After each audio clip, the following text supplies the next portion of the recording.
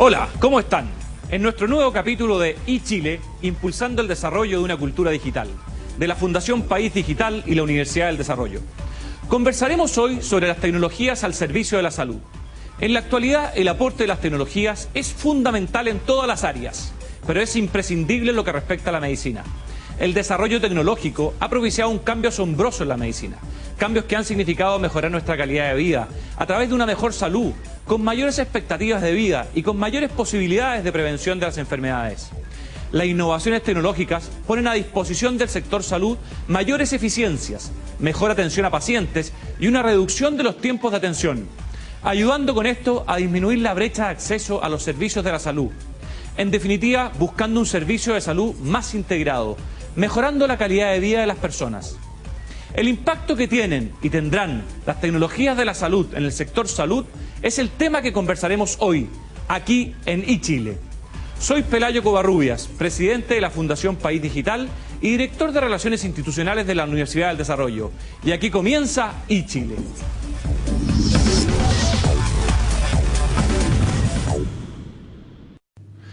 Para conversar sobre la tecnología al servicio de la salud, hemos invitado hoy a dos grandes expositores. A la doctora María Begoña Yarza, directora del Hospital Ezequiel González Cortés, y a don Mario Chavo, vicepresidente global del sector salud de la compañía Everis del grupo Entity Data. Muy bienvenidos a los dos, la verdad que es un gusto poder tenerlos acá. En un tema que nos apasiona tanto y que muchas veces nos complica tanto, el tema de la salud. ¿Cómo la tecnología es capaz de ayudar a mejorarnos la calidad de vida? ¿Cómo la tecnología es capaz de ir mejorando los procesos que vivimos a través de la salud? Y para eso vamos a conversar con do- doctora Begoña. Usted está a cargo de un hospital, de un hospital muy importante en el sur de Santiago. ¿Cuáles son los principales desafíos que hoy día está enfrentando? ¿Qué es lo que es administrar un hospital y un hospital tan importante como el Ezequiel? Bueno, lo primero es agradecerte, agradecerles a ustedes que nos hayan invitado y podamos contar esta historia, que es la historia del Ezequiel y de, de sus funcionarios. Mira, el- Ezequiel González Cortés. Ezequiel González, pero la gente le dice el Ezequiel. Así es. Y en- incluso el Ezequielito, así ya cariñosamente. Pero, ¿A pero- quién, a quién atiende principalmente el hospital Mira, Ezequiel? El Ezequiel es un hospital de la zona sur de Santiago, está anclado en la comuna de San Miguel, una comuna preciosa además, eh, que tiene unas vías de acceso súper buenas, la Panamericana, Gran Avenida, y abarca 11 comunas de la zona sur de Santiago. Esas 11 comunas, ¿cierto? En su gran mayoría, a lo menos 7 tienen niveles de pobreza más bajos que los niveles de pobreza en promedio de Chile y la región metropolitana. O sea, estamos hablando de una población asignada más o menos de 300.000 niños. La población en general es de 1.198.000, ¿ah? O sea, es una zona súper populosa. Pero la población infantil es 300.000. Y por tanto nosotros estamos a cargo de estos 300.000 niños que van de 0 a 15 años y de sus problemas de salud, ¿cierto? De sus complejidades, de, la, la atención secundaria o terciaria, que es la que nosotros brindamos. Ese es nuestro, nuestro compromiso y es nuestro territorio y son nuestros niños. ¿Y cuáles son los mayores desafíos que enfrenta hoy día? Yo soy en la casa, la estoy escuchando usted, doctora, digo, pucha, yo vivo acá al lado del, del Ezequiel, Ezequielito, y la verdad es que me cuesta llegar al hospital porque me voy a demorar en que me atiendan, o no son esos los grandes problemas, sino que son otros. Mira, en general, en general, yo creo que yo eh, quiero decirte que, que dirigir ese hospital, ¿cierto? Y sus desafíos es un placer. Y es un placer por cuatro cosas. La primera es porque los funcionarios tienen una trayectoria y una historia en general de mucho compromiso con la salud pública. ¿Cuánta gente trabaja? Nosotros tenemos 860 funcionarios, ¿ya? El que el Incluido 75, doctores. sí, son alrededor de 160 doctores, Perfecto. pero la gran mayoría de nuestros funcionarios son mujeres. ¿ah? La salud se ha ido convirtiendo en un patrimonio bien femenino, ¿cierto? El 75, 76% de nuestros funcionarios son mujeres.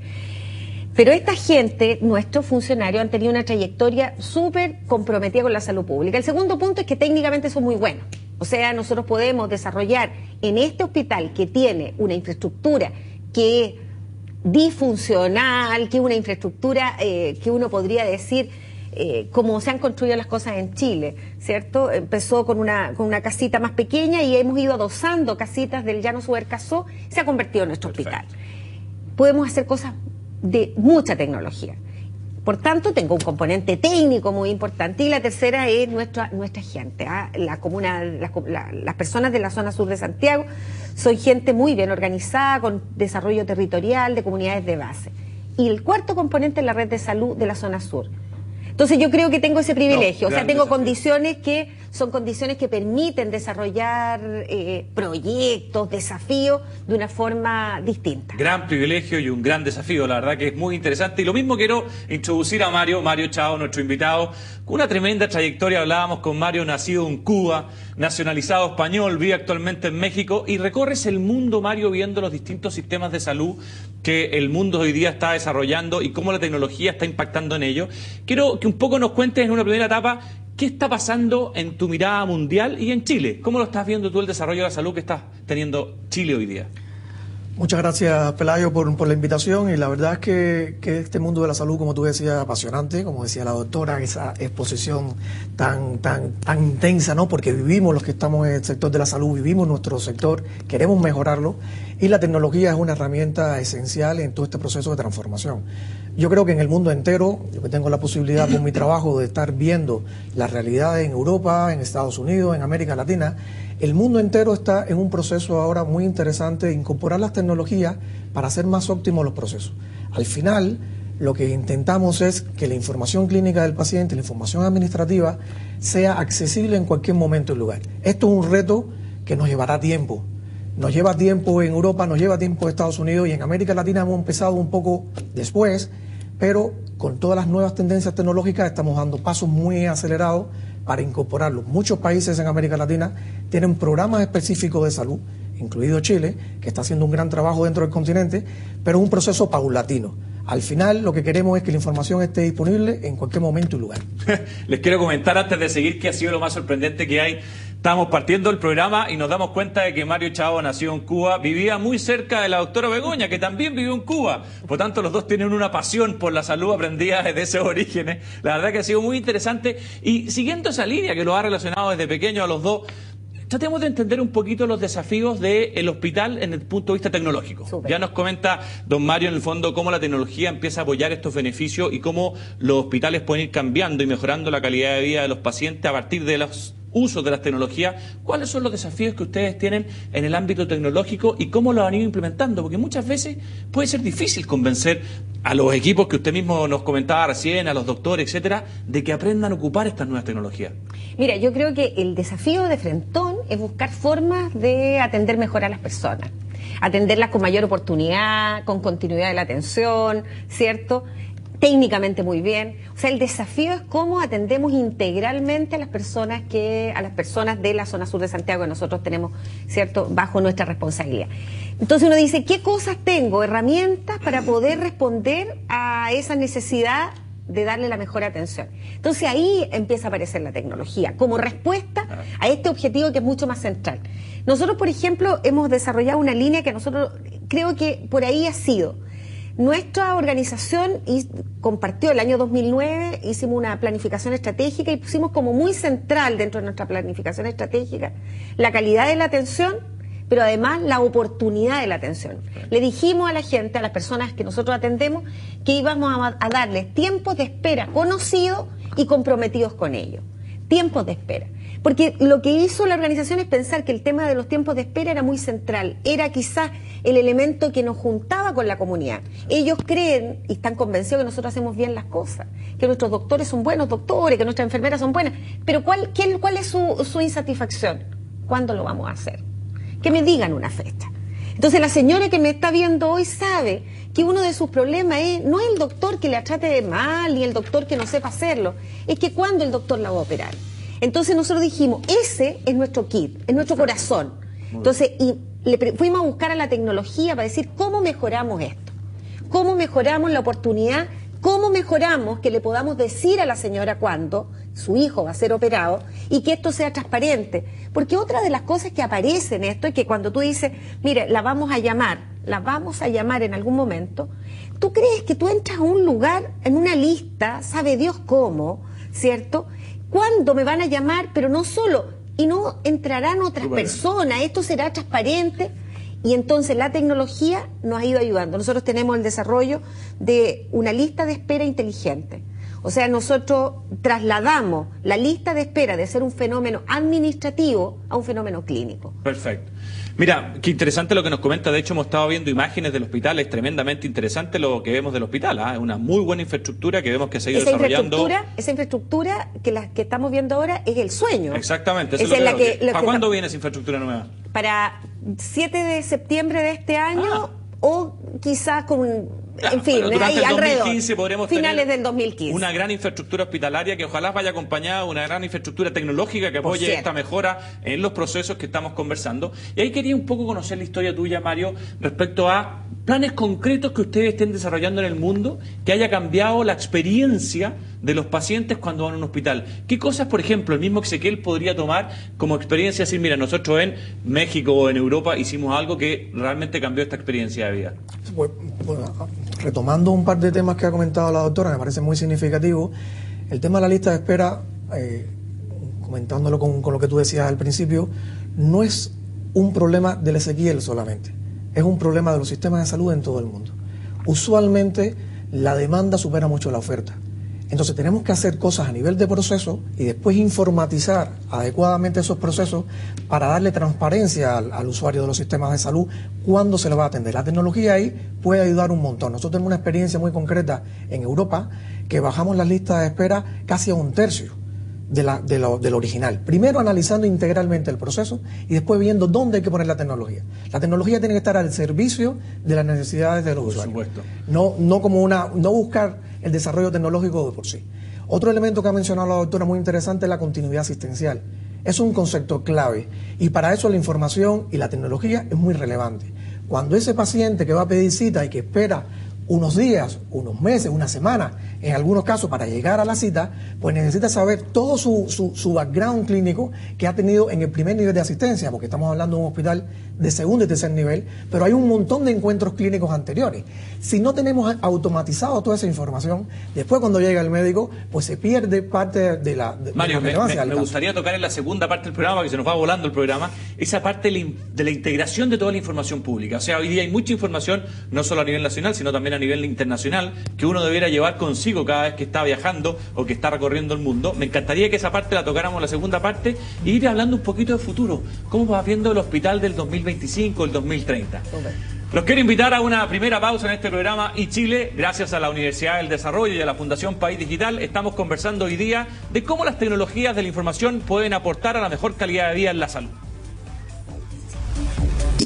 Bienvenidos a esta segunda parte del programa, cómo las tecnologías de la información pueden apoyar la salud, la mejor calidad de vida de todos nosotros cuando estamos desarrollando estos grandes procesos que vamos a las clínicas. Estamos conversando con el doctor Mario Chao, doctor que está a cargo, perdón, Mario Chao a cargo de Everis, Entity Data en todos los temas tecnológicos y la doctora Begoña, el Ezequiel González Cortés.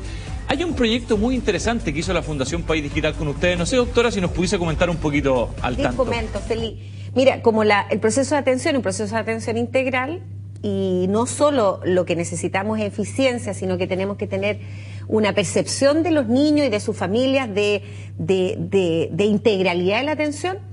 Con Fundación País Digital conversamos y lo que hicimos es que en aquellos lugares, y empezamos en dos lugares que tenemos que evaluar con País Digital, vamos a hacer una encuesta, en fin, queremos producir también inteligencia de eso, que aprendamos. En, hemodiálisis y en cirugía mayor ambulatoria, lo que hicimos en hemodiálisis en estos dos lugares, que a los niños les entregamos tablets cargados con juegos.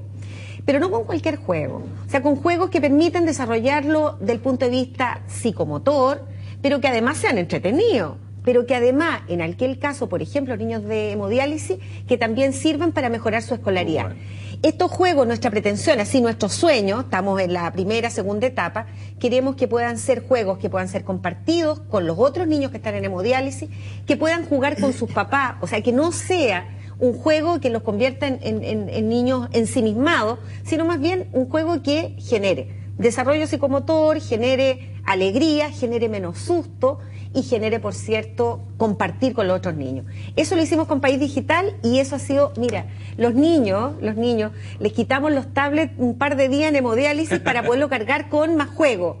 Casi me hacen una huelga en el hospital, salieron con carteles, ellos son muy especiales porque lo necesitaban mucho. Ya se convirtió en un estándar. Mira qué y los niños de cirugía mayor ambulatoria igual. ¿Tú crees que los niños se dan cuenta cuando lo están subiendo a pabellón? Si van jugando, van jugando, van en la pantalla. excelente. Entonces, cuando terminan el pabellón, lo primero que te preguntan es, ¿mi tablet? Porque quieren seguir jugando. Oye, y tomando ese mismo ejemplo, que, que es cercano y qué bonito, ¿no? Cómo la tecnología nos puede ayudar en ese desarrollo. eh, hay una especie de traje a la medida, en el fondo. Nosotros le estamos dando a los niños la oportunidad de que ellos vayan entreteniéndose mientras van a un tema de resolver sus problemas de salud. Y hablábamos recién, eh, Mario, de cómo ustedes a nivel mundial pueden ir viendo distintos pilotos que están funcionando. Y quiero aterrizarlo un poco en Chile. Si la doctora recién nos decía, mira, yo tengo necesidades propias en mi hospital. ¿Cómo Everis, a través de esta experiencia mundial, puede ir desarrollando una experiencia propia para el Hospital Ezequiel que tiene probablemente sus necesidades, dado que son niños, etcétera? Pues yo creo que como, como decía antes, es interesante e importante conocer la realidad del hospital. Para tomar el caso que estaba comentando la doctora, Everis ha tenido un par de experiencias muy interesantes en juegos serios en Europa para rehabilitación con pacientes con daño cerebral. Entonces llevamos, usamos los juegos para rehabilitar a ese paciente y llevar la terapia a su casa, a un entorno mucho más eh, controlado, un entorno mucho más cómodo para el paciente y humanizamos la salud usando la tecnología. Otro, otro ejemplo que tenemos justamente para niños es todo el tema de la obesidad. El tema de la obesidad es un problema en Chile, es un problema en México, es un problema en Estados Unidos, es un problema en el mundo entero. Y estamos haciendo una plataforma para gestionar la obesidad infantil a través de juegos serios. De manera que esa plataforma permita en la escuela, en el ámbito sanitario y en el ámbito de su casa y la comunidad, utilizar la tecnología a través de los juegos para cambiar hábitos de conducta y hábitos nutricionales. Perfecto. O sea, es un- una forma para, para, para enlazar la tecnología con lo Pero te quiero enlazarlo porque quiero ir avanzando un poquito hacia las tendencias, ver qué viene hacia adelante, qué viene para el 2020-2025. Nosotros tenemos en el ámbito de las tecnologías lo que es el Big Data, lo que es el IoT, Internet of Things.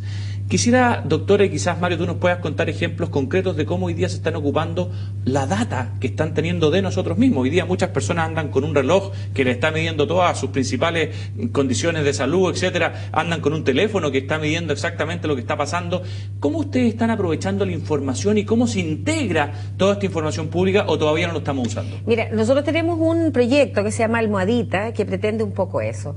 Nosotros tenemos un grupo de pacientes que son pacientes muy complejos, incluso ventilados, sea que hay que asistirlo en la ventilación.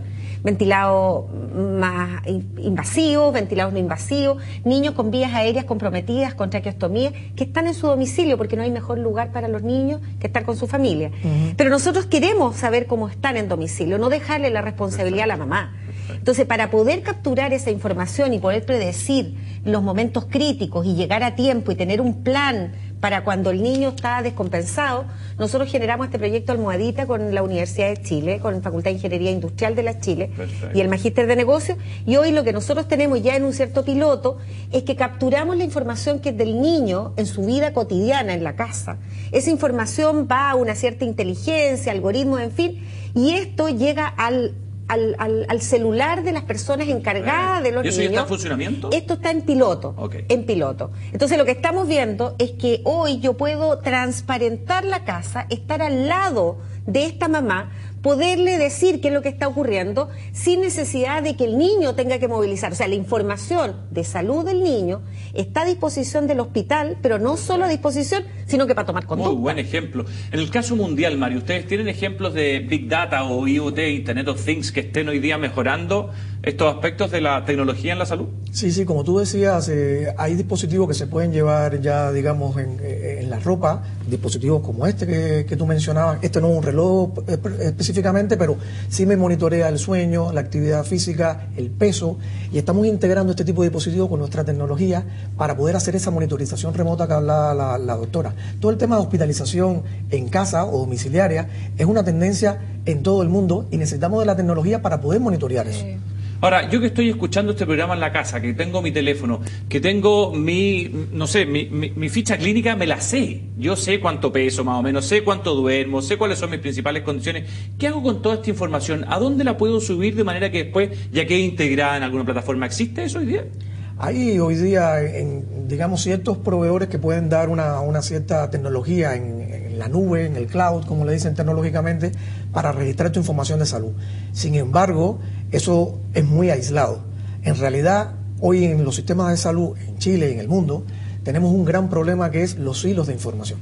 cada hospital, cada red, cada, cada eh, estado tiene su propia información que le cuesta trabajo compartir con otro. Pero ya no estamos hablando de otro país, estamos hablando del hospital que está enfrente. O sea, siempre pongo el ejemplo, Pelayo, de que cuando uno va al extranjero por motivo de turismo o de trabajo, eh, puede hablar por teléfono, puede sacar con su tarjeta dinero en cualquier cajero automático. Sin embargo, si uno va a un hospital, la probabilidad de encontrar la información clínica que se ha generado en tu hospital de cabecera es prácticamente nula porque los sistemas están totalmente aislados. Entonces, el gran reto que tiene la tecnología en salud es conectar toda la gran desafío futuro. Ahora ahí, a mí me parece que el dueño de la información son los pacientes, ¿cierto? Eh, la mamá, el niñito, usted, yo, somos dueños de nuestra información. Lo que nosotros hemos ido generando como experiencia, que es una experiencia bien histórica, es que en la pediatría las mamás andan con un cuaderno, ¿cierto? ¿Qué es la tecnología? La respuesta tecnológica del, su minuto. Mm. Y tú vas anotando la historia. Cuando la mamá va a otro lugar, va con el cuaderno y le pasa al otro doctor, mire, este es mi niño. ¿Qué es lo que nosotros pensamos? Que nosotros tenemos que generarle un cuaderno a los niños, un cuaderno tecnológico, pero que la mamá lo tenga. O sea, nosotros no queremos que toda la información de ese niño esté en otro lugar que no esté con su mamá. Y ella sabrá por cierto, a quién le entrega esa información y cuánto es necesaria. Entonces, nosotros para el edificio nuevo, el edificio que estamos construyendo y que pensamos que nos van a entregar en diciembre, lo que nosotros queremos entregarle a las mamás es eso, un cuadernito tecnológico. Perfecto.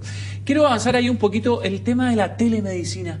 Hoy día hay muchas especialidades, tenemos las regiones que a veces no tienen todos los especialistas que uno quisiera. ¿Ustedes están trabajando de alguna manera con el concepto de la telemedicina? Mira, nosotros, eh, a, propósito de, de, una presentación que yo tuve en ICARE, llegó un montón de gente a conversar con nosotros para decir, no queremos también hacer cosas en salud y con ustedes. Bueno, y llegó alguien muy importante para nosotros, que ha sido un doctor, un cardiólogo, que trabaja en la, en, la, octava región y hemos comenzado a trabajar en un proyecto que a nosotros nos parece precioso. Él tiene la experiencia en adulto, nosotros ponemos la experiencia pediátrica y lo que queremos hacer es telemedicina cardiológica para los recién nacidos. Mira este el siguiente problema que hoy como desafío. Un niño nace en un hospital de la zona sur de Santiago. Para poder ir al cardiólogo infantil en un hospital que no tiene pediatría, ¿qué es lo que tiene que hacer el niño? Una guaguita. Trasladarse físicamente al hospital Ezequiel González Cortés para que sea evaluado ecocardiográficamente, electro, en fin, todas las cosas y que lo evalúe el especialista. ¿Te imaginas que por telemedicina ese niño en su unidad sea visto por el cardiólogo, que se le haga la ecografía a partir de un profesional capacitado, porque se puede estandarizar, y se tome la conducta de ese niño sin que se mueva de su unidad. Bueno, ese es nuestro proyecto. Eso es mucho de futuro lo que estamos hablando. Vamos, desgraciadamente, llegando a la parte final, me gustaría tener un tiempo para que los dos podamos redondear una, una cuña que yo he escuchado mucho de el arte a la ciencia, es decir, que la medicina está cambiando. Mario, ¿qué nos dices tú como una parte final de tu intervención? Pues de arte a ciencia, pues esto lo que significa, eh, coloquialmente, cada maestro tiene su librito. Sin embargo, en medicina, en, el ámbito de salud, cada vez vamos más a, lo que le, llamamos medicina basada en evidencia, protocolos clínicos estandarizados, de manera de poder dar una, asistencia de calidad a la mayor cantidad posible de pacientes. Eh, de manera que la tecnología también puede ayudar mucho en, ese, en esa estructuración de la, de práctica clínica que aumenta la calidad, la seguridad que tiene el paciente. Todo esto se va a venir eh, potenciado por los desarrollos que hay en, la genética, en la genómica, para tratar de llegar a futuro, y estamos hablando todavía ya de 10, 15 años, de una medicina personalizada. Sueño tecnológico de todos. Doctora, me encantó el cuaderno clínico de la mamá, transformarlo al cuaderno tecnológico de la mamá y después de nosotros mismos. Mira, yo me imagino, para mí esto de la ciencia y el arte, nosotros en el Hospital Nuevo, una de las cosas que nos pareció que teníamos que hacer es que la gente sienta que ese Hospital Nuevo es el Ezequiel, es el mismo Ezequiel, cálido, humano, en fin, personalizado. Y como es un edificio nuevo y asusta, lo que hicimos es que invitamos a la comunidad y ya tenemos comunidades de jóvenes que están trabajando con diseño de la, de, la católica para hacer murales adentro. Murales que cuenten la historia de los jóvenes de la zona sur de Santiago. Humanizar. Por tanto, toda esta tecnología no puede separar al mundo de lo clínico con las personas sino que tenemos que ponerle apropiación de las personas de, de la salud mediante el arte. Hemos visto cómo las nuevas tendencias de la tecnología se van a ir incorporando al mundo de la salud, cómo el Big Data, cómo el Internet de las cosas va a ir cada día más a futuro, cómo la integración de todos los requerimientos y todas las necesidades que nosotros tenemos de salud va a ir dando vuelta al mundo. Estas son algunas de las cosas que hoy día pudimos conversar. La verdad que se nos hizo corto, desgraciadamente tuvimos solo media hora, yo creo que vamos a tener que hacer un segundo programa. Quiero agradecer muy especialmente a Mario por haber venido desde México a Chile a poder estar con nosotros y contarnos de las experiencias mundiales, a la doctora por administrar este gran hospital y dar satisfacción a tantos niños que lo necesitan. Muchas gracias por habernos acompañado hoy día. Y los dejo invitados a un nuevo programa de iChile.